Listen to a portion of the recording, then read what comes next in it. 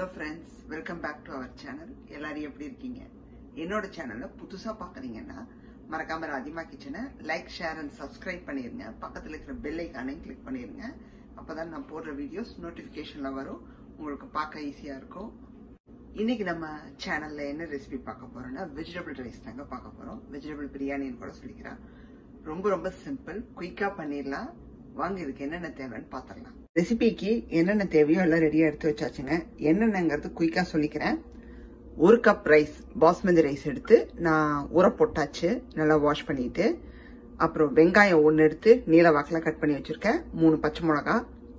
அதுக்கப்புறம் காய்கறி வந்து பார்த்தீங்கன்னா உங்கள் இஷ்டம் தான் என்ன காய்கறி வேணாலும் எடுத்துக்கலாம். நான் எடுத்திருக்கிற காம்பினேஷன் வந்து பீன்ஸ் எடுத்திருக்கேன் காலிஃப்ளவர் எடுத்திருக்கேன் அப்புறம் உருளைக்கிழங்கு எடுத்திருக்கேன் அப்புறம் பட்டாணி எடுத்திருக்கேன்.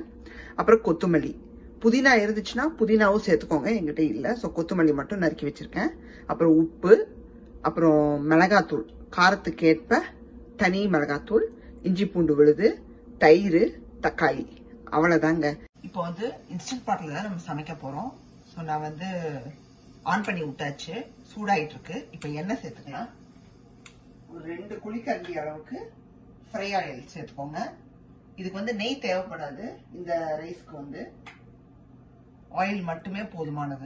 எண்ணெய் நல்லா சூடாயிடுச்சு. இப்போ கரம் ஐட்டம்ஸும் உள்ள சேர்த்துடலாங்க ஸோ நீங்கள் பவுடர் எதுவும் சேர்க்க போகிறது இல்லை முழு கரம் ஐட்டம்ஸும் உள்ள சேர்த்துறீங்க அவ்வளோதான் ஸோ என்னென்ன கரம் ஐட்டம்ஸ் இருக்கோ எல்லாமே எடுத்து வச்சுக்கோங்க. நான் வந்து பட்டை கிராம்பு ஏலக்காய் அப்புறம் கல்பாசி ஸ்டாரமீஸ் அப்புறம் இந்த நட்மக் அந்த ஜாதிக்காய். இது நல்லா ஃப்ளேவர் கொடுக்கும். ஸோ ஒரு சின்னதாக எடுத்து வச்சுருக்கேன்.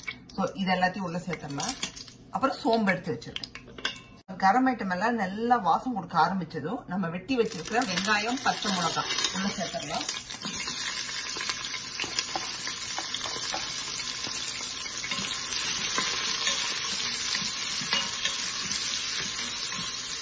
வெங்காயம் நல்லா வதங்கி வரணுங்க. அப்படியே ப்ரௌன் கலரா வதங்கி வரணும். அது வதங்கி வந்ததுக்கு அப்புறமா என்ன சேர்க்கலாம் அப்படிங்கறத பார்ப்போம். இப்ப பாத்தீங்கன்னா நமக்கு வெங்காயம் பாதி வதங்கிடுச்சு நல்லா உங்களுக்கு பார்த்தாலே தெரியும். ஒரு மாதிரி சாஃப்ட் ஆயிடுச்சு. இந்த ஸ்டேஜ்ல என்ன ஆட் பண்ண போறோம்னா நம்ம வெஜிடபிள்ஸ் ஆட் பண்ண போறோம். நம்ம எடுத்து வச்சிருக்கிற பட்டாணி உருளைக்கிழங்கு காலிஃபிளவர் பீன்ஸ் ஏன் இப்போ சேர்க்கிறோம் அப்படின்னா நமக்கு அந்த வெஜிடபிள்ஸோட பச்சை வாசம் போகும். அது வெஜிடபிள்ஸ் பச்சை வாசம் போய் ஓரளவுக்கு சாட்டே ஆயிடுச்சுன்னா உங்களுக்கு சூப்பரா வெந்து வரும் காய்கறியோட பச்சை வாசம் போற அளவுக்கு நீங்க வதக்கினா போதுங்க.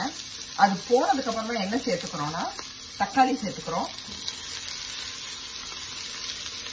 இந்த தக்காளி கூடையே வந்து நம்ம எடுத்து வச்சிருக்கிற இஞ்சி பூண்டு உள்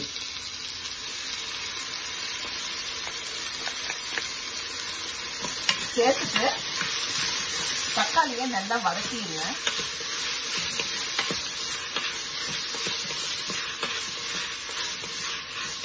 நல்லா இந்த தக்காளி இஞ்சி பூண்டெல்லாம் நல்லா வதங்கிருச்சுங்க.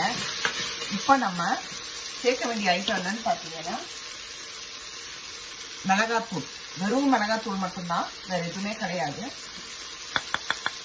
இது தனி மிளகாத்தூள் அதனால பார்த்து சேர்த்துக்கோங்க. காரம் உரப்பாயிரும் இல்லாட்டி.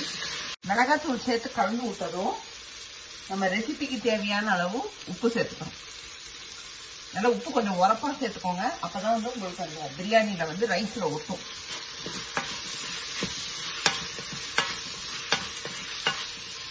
நல்லா கலந்து விட்ட பிறகு தயிர் சேர்த்துக்கணும்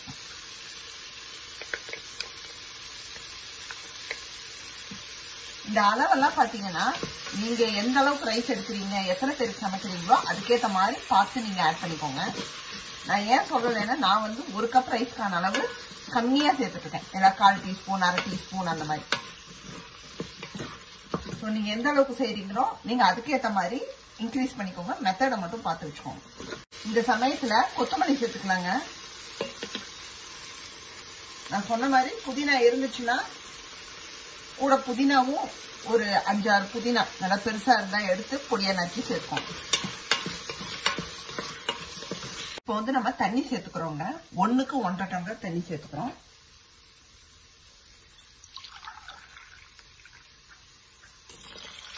ஒன்னு ஒரு ஒன்றரை.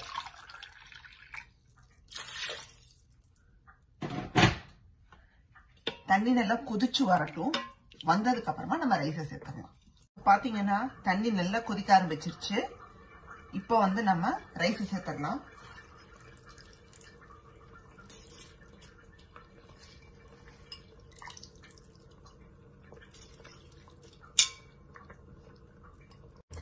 ரைஸை சேர்த்துனதும் நல்லா கலந்து விட்டுருங்க. உப்பு காரம் எல்லாமே செக் பண்ணிக்கோங்க. நல்லா உரப்பா இருக்கான்னு பார்த்துக்கோங்க. உப்பு மட்டும் உரப்பா இருக்கான்னு பார்த்துக்கோங்க. ஏன்னா காரமும் உரப்பா இருந்துச்சுன்னா சாப்பிடவே முடியாது. முடியாச்சு. இந்த வென்டிலேஷன் வந்து ஆஃப் மோட்ல இருக்கணும்.